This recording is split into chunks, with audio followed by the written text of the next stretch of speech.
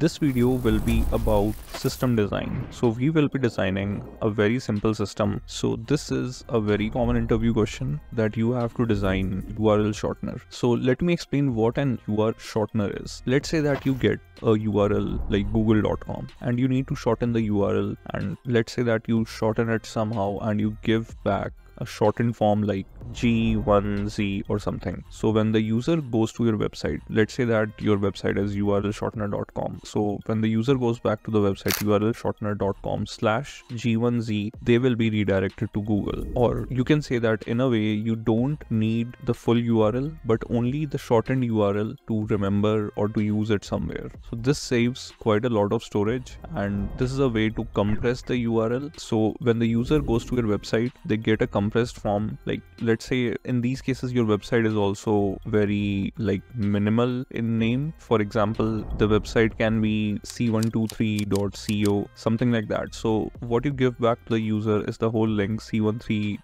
co slash g1z. So when the user clicks on the link, they will be redirected to Google. The point is that in case of a very long URLs, for example, if you search something on Google, you get all the query parameters and everything on, on search bar. Uh, and we don't want that. We don't want such long uh, URLs to remember, but we want a shortened form. So this is the purpose of a URL shortener. And whatever its purpose is, we don't care about the purpose, but we are here to actually design the system. So if you want you can pause the video and think for a moment that given such a system, how will you go ahead and design it? And these questions are very common in interviews and especially for beginners. So we'll go ahead and design the system and this is a very simple system. So let's say that we want to design URL shortener which simply shortens the URL. So google.com is converted to G1Z and we don't care about the algorithm that we are using to convert this. It is some algorithm in the backend that we are using to convert the URLs. It can be anything. We can simply even use simple digits or whatever works for us. But that is not the case here. What we want is that how will this system look like? So let's design a very simple system. We have a server. The user connects to the server. The user makes a request that I have this URL. Can you shorten it for me? The server simply returns a response that yes, this is your shortened URL and they will get back the shortened URL. So this is a simple request response model. The user makes a request to the server that hey this is the url that i want to shorten the url can be a very long url google.com slash user is equal to something and search query string is equal to something plus something plus something like a very long url that you really want to shorten the user comes to our server they make a request they get a response that this is the shortened form of the url now when they come to our server again they will make another request with the shortened url that uh, this is the shortened url give me back the original url or redirect me to the page of the original URL. And don't worry, in one of the next videos, we will be actually coding this system up from scratch. And yeah, uh, that would be great to understand and see this practically. But for now, let's understand the theory behind this. So the user comes to a server, they make a request, they get a response. And what are the different kind of requests that user can make? Number one, they can make a request to shorten a URL. Number two, they can make a request with the shortened URL to be redirected to the original page. So the system works and it works perfectly. But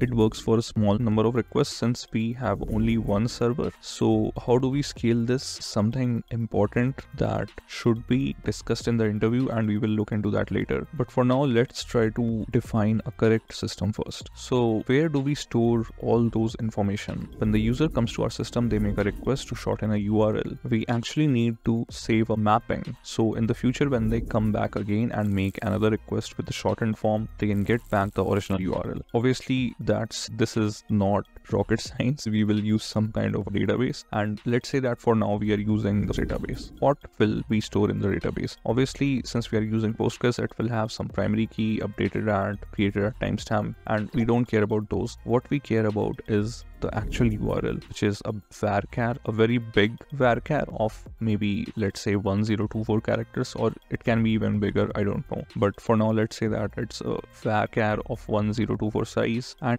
shortened form of URL. But along with this, we would also need something else, and that would be timestamp because URL can be valid for a particular time. So let's say that we also have an expiration timestamp because after the expiration timestamp, if the user tries to make a request, we can go straight ahead and show them that your URL has expired. So let's say that a user makes a request for google.com and we save it in the database as g1x, which is its short form with some timestamp. And let's say another user comes in, they make another request. So we have a choice here. We can either check that but this string matches with something we have in our database. And if it does then we don't have to save it again. We can return back the response. And if it doesn't we can save it in the database. Well this works fine. And let's say that we save it again in the database because the users can be different. Now that is again another topic. The users need to be authenticated in this case. So we know that let's say that a user 1 makes a request and user 2 makes a request we can give them back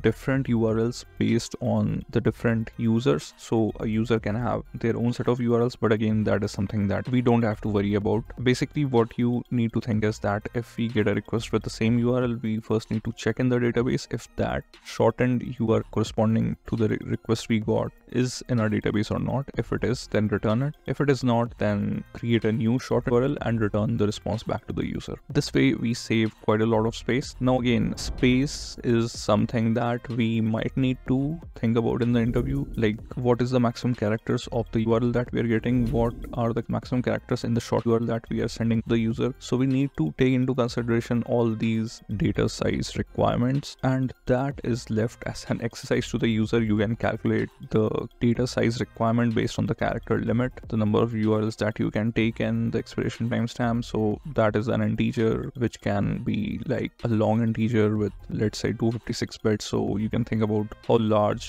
of a size it will take. Each character is one byte so you can calculate that how many characters you're saving in the database what is the data size limit of your database. So that is left as an exercise to the user. Let's go ahead and think about scaling the system. So obviously we have one server and this won't scale. What we can do is that we can have like multiple servers and a load balancer sitting in front of the servers. So just always remember to use these boxes in interviews where you have a load balancer and multiple servers sitting behind it. So now the system is scaled. Not one, but many users can simultaneously make requests to the system and each of their requests will be redirected to a different server. This will be in a round robin fashion, so we don't have to worry about one server handling all the requests. This also makes our system much more tolerant. Let's say that one server goes down, the request can be redirected to other servers and let's say that they are in different availability zones or in different regions so we don't have to worry about one server going down or out of commission because others will still be working. So we will just modify it a little bit. Now the user makes a request to the load balancer which is our proxy to the servers uh, which is a reverse proxy actually to the server. And the request goes to the server. Server then fetches the response based on some logic it also checks the database and yeah, the system works. Now let's talk about our database. Using a Postgres won't scale much. Why? Because Postgres is a single large database and in some of the blogs that I've read, maybe I will post a link in the description, the database is the limit. It's the weakest link. It's the limit up to which your system can be scaled. So if you can scale your database, you can easily scale your system. And that's because database is the bottleneck. So obviously using Postgres here won't work because first of all we will have to maintain a single large database and the request the number of requests that we are making to the database won't be fast enough. So we can simply replace our postgres database with redis. Redis is an in-memory cache which is like quite durable and it can have multiple nodes. So our load is spread across different servers and our data is spread across different redis caches or redis databases. So so we can have a redis cluster with multiple instances instances and yes our data is duplicated replicated and it is fault tolerant and spread across different redis databases. So i think this system will work and this is quite fast enough and also good enough in a beginner interview level system design discussion. So i hope you liked the video and we will be making more such videos about system design in the future. So consider subscribing to the channel and yeah have a good day